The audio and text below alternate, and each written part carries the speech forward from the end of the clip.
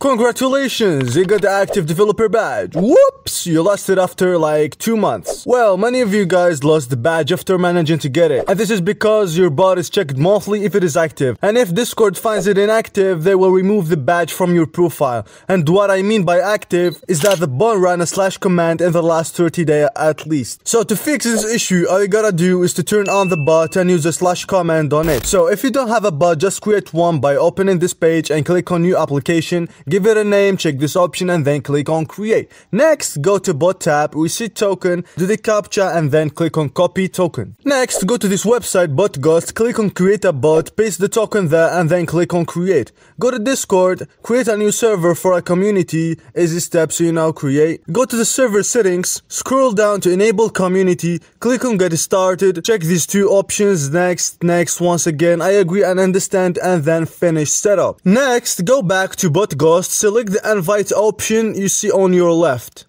and this will open this tab. Invite your bot to your server. If you actually find the bot offline, just go back to BotGhost again, go to settings and then start your bot. Next, add the comment to it by clicking here and then scrolling down, then choosing the active developer badge comment and making sure that this is enabled. Next, go back to the server and make sure the bot is online and is there and it has all the required permissions and use this slash command slash active dev badge.